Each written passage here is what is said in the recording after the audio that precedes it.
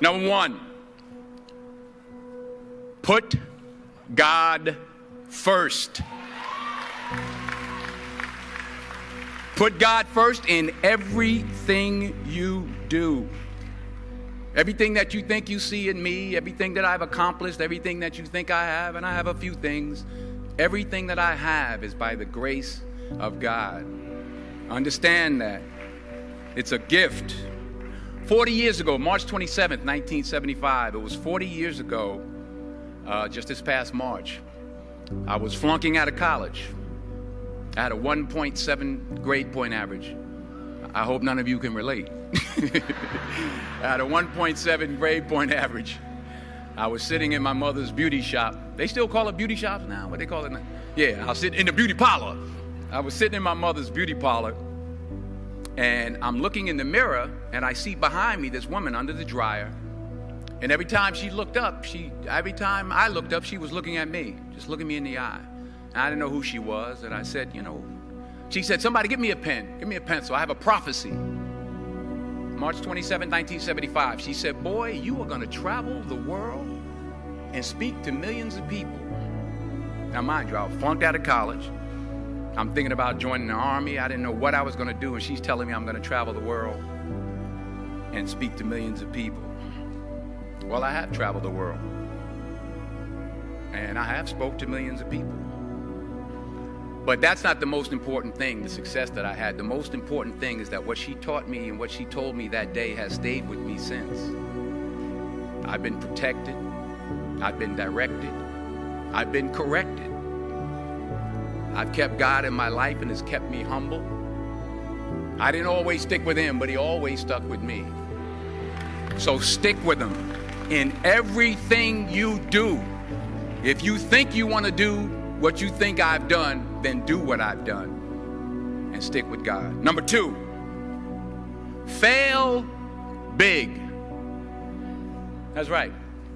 Fail big. Today's the beginning of the rest of your life, and it can be, it can be very frightening. It's a new world out there, it's a mean world out there, and you only live once. So do what you feel passionate about, passionate about. Take chances professionally. Don't be afraid to fail. There's an old IQ test was nine dots, and you had to draw five lines with a pencil within these nine dots without lifting the pencil. The only way to do it was to go outside the box. So don't be afraid to go outside the box.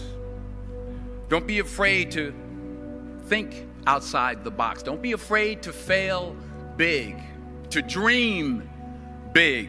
But remember, Dreams without goals are just dreams, and they ultimately fuel disappointment.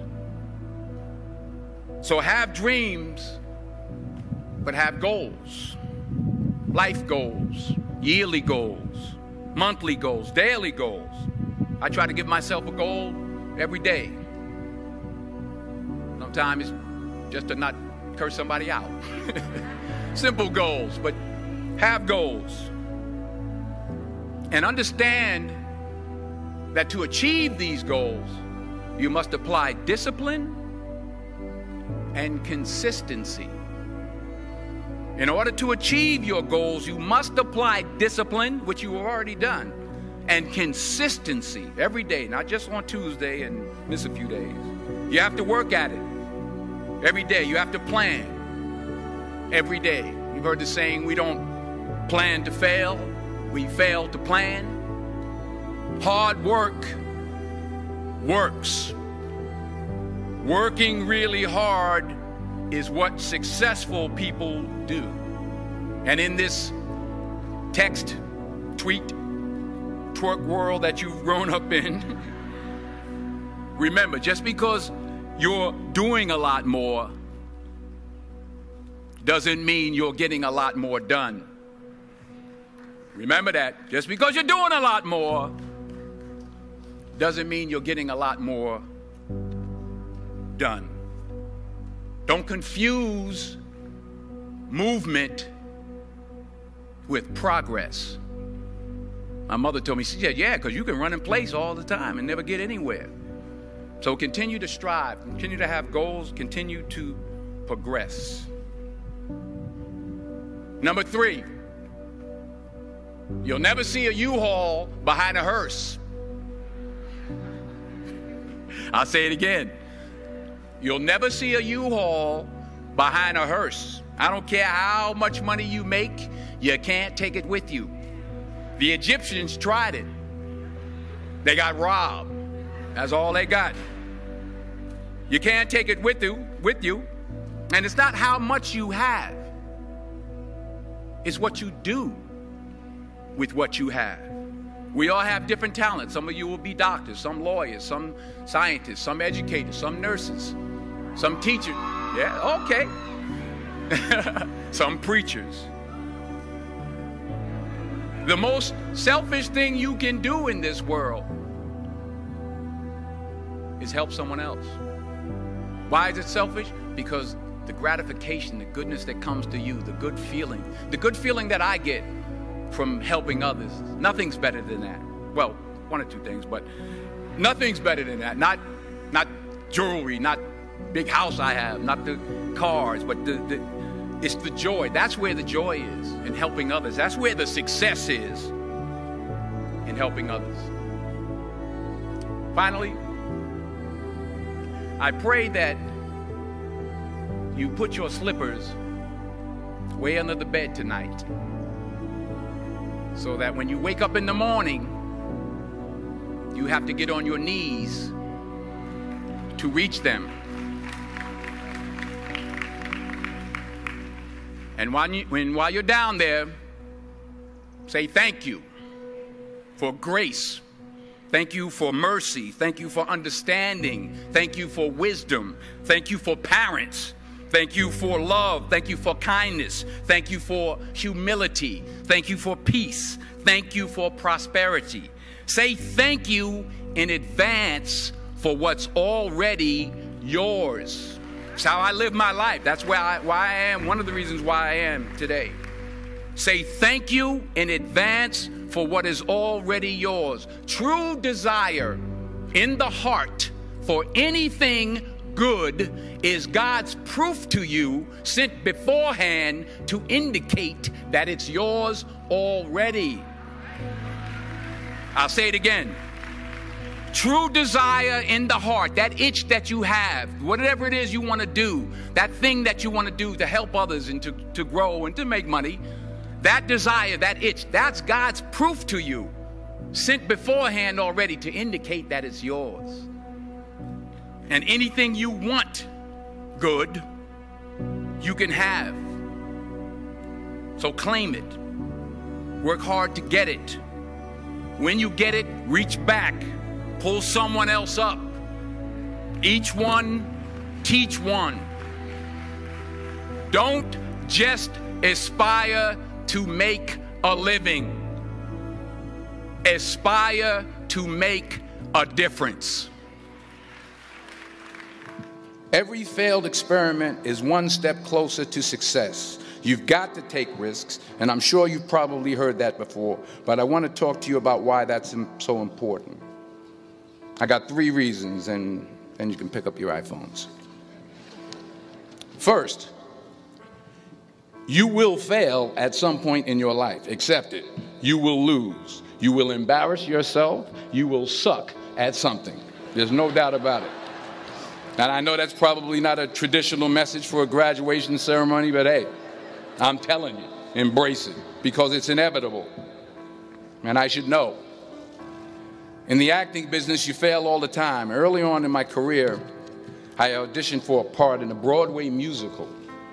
Perfect role for me, I thought, except for the fact that I can't sing. So I'm, I'm in the wings, I'm about to go on stage, but the guy in front of me, he's singing like, like, like Pavarotti. He's just, and he's just going on and on and on. And I'm just shrinking. I'm getting smaller and smaller. So they say, oh, thank you very much, thank you very much, and you will, you'll be hearing from us. So I come out with my little sheet music, and it, it was, it was uh, just my imagination by the Temptations. That's what I came up with. So I hand it to the, the, the, the accompanist, and uh, she looks at it and looks at me and looks out at the director and is like, all right. So I, I start, you know, I, am I'm going to sing. I'm like, it's just my imagination once again. And then coming away with me. And they're not saying anything, so I'm thinking I'm getting better. So I, I start getting into it. It was just my running. They say, oh, yeah, uh, th- yeah thank, thank you, thank you. Thank you very much, Mr. Washington, thank you. So I assumed I didn't get the job. But the next part of the audition, he called me back. The next part of the audition is the acting part of the audition. So I'm like, hey, okay, maybe I can't sing, but I know I can act. So they pair me with this guy, and again, I didn't know about musical theater. And musical theater is big, so they can reach everyone all the way in the back of the, of the stadium. And I'm more from a realistic, uh, naturalistic kind of acting where you, you know, you actually talk to the person next to you. So I, I don't know what my line was. My line was, well, hand me the cup. And his line was, well, I will hand you the cup, my dear. The cup will be there to be handed to you. I, I, said, oh, okay. well, should I give you the cup back? Oh, yes, you should give it back to me because you know that is my cup and it should be given back to me. I didn't get the job. But here's the thing I didn't quit, I didn't fall back. I walked out of there to prepare for the next audition, and the next audition, and the next audition. I prayed. I prayed, and I prayed. But I continued to fail, and fail, and fail. But it didn't matter because you know what? There's an old saying you hang around the barbershop long enough, sooner or later you're going to get a haircut. So you will catch a break, and I did catch a break.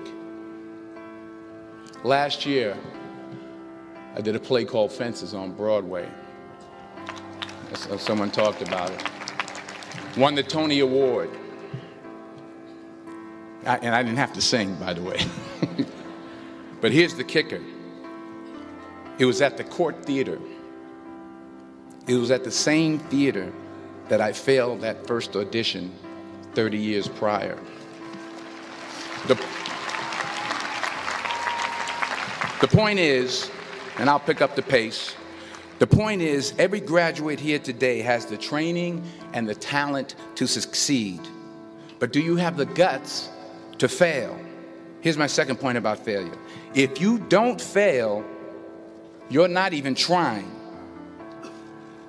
I'll say it again. If you don't fail, you're not even trying. My wife told me this great expression to get something you never had, you have to do something you never did. Les Brown's a motivational speaker. He made an analogy about this. He says, Imagine you're on your deathbed, and standing around your deathbed are the ghosts representing your unfulfilled potential, the ghost of the ideas you never acted on, the ghost of the talents you didn't use. And they're standing around your bed, angry, disappointed, and upset. They say, we, we came to you because you could have brought us to life, they say. And now we have to go to the grave together. So I ask you today how many ghosts are going to be around your bed when your time comes? You've, invest, you, you've invested a lot in your education, and people have invested in you. And let me tell you, the world needs your talents. Man, does it ever. I just got back from Africa like two days ago, so if I'm rambling on, it's because I'm jet lagged. I just got back from South Africa. It's a beautiful country, but there are places there with terrible poverty that need help. And Africa is just the, the, the, tip of the iceberg. The Middle East needs your help. Japan needs your help. Alabama needs your help. Tennessee needs your help. Louisiana needs your help. Philadelphia needs your help. The world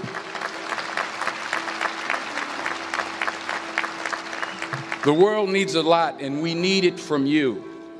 We really do. We need it from you, young people. I mean, I'm not speaking for the rest of us up here, but I know I'm getting a little grayer. We need it from you, the young people, because remember this. So you got to get out there. You got to give it everything you got, whether it's your time, your, your, your talent, your prayers, or your treasures. Because remember this you will never see a U Haul behind a hearse.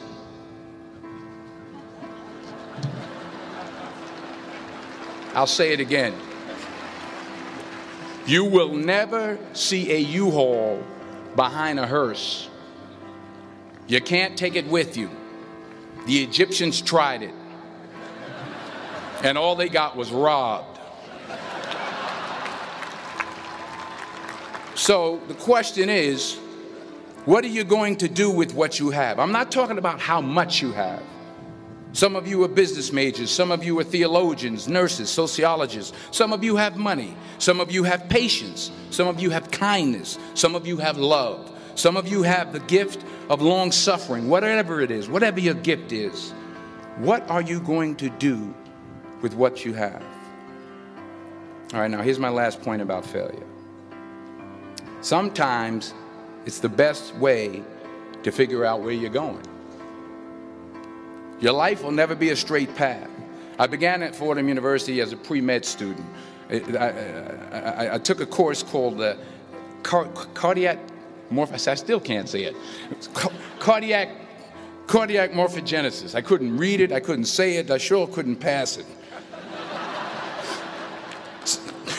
so then I decided to go into pre law, then journalism. And with no academic focus, my grades took off in their own direction. Yeah, down. I was a 1.8 GPA one semester, and the university very politely suggested that it might be better to take some time off. I was 20 years old, I was at my lowest point.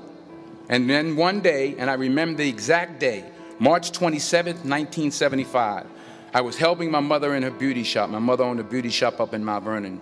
And there was this older woman who was uh, considered one of the elders in the town. And I didn't know her personally, but I, I, was looking in the mirror, and every time I looked at the mirror, I could see her behind me, and she was staring at me.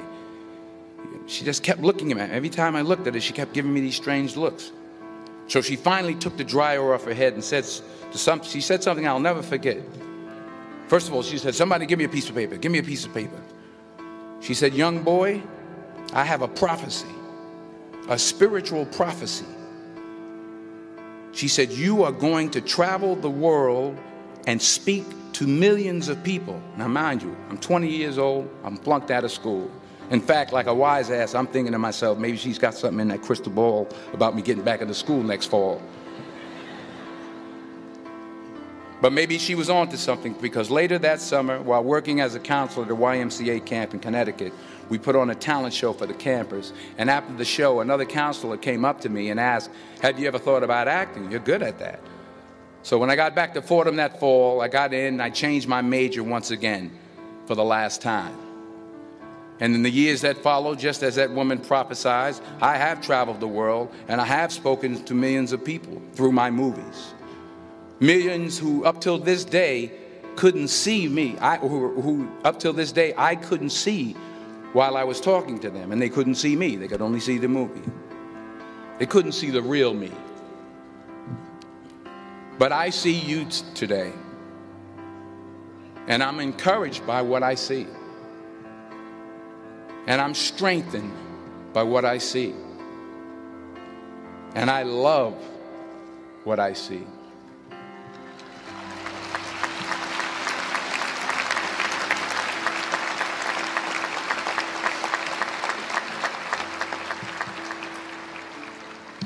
One more page, and I'll shut up. Let me conclude with this one final point, and actually, the president kind of brought it up. It has to do with the movie Philadelphia. She stole my material. Many years ago, I did this movie called Philadelphia. We filmed some of the scenes right here on campus. Philadelphia came out in 1993. Most of you were probably still in diapers. Some of the professors, too. But that cracked me up. but it was a good movie. Rent it on, uh, what do you call it, Netflix. It's a good movie. Rent it. I get 23 cents every time you rent it, please. Rent it. True. Parents up there, rent, rent, rent it. Netflix, please. Tell your friends too. It's about a man played by Tom Hanks who's fired from his law firm because he has AIDS. He wants to sue the firm, but no one's willing to represent him until a homophobic ambulance chaser lawyer, played by yours truly, takes on the case. In a way, if you watch the movie, you'll see everything I'm talking about today. You'll see what I mean about taking risk or being willing to fail. Because taking risk is not just about going for a job, it's also about knowing what you know and what you don't know.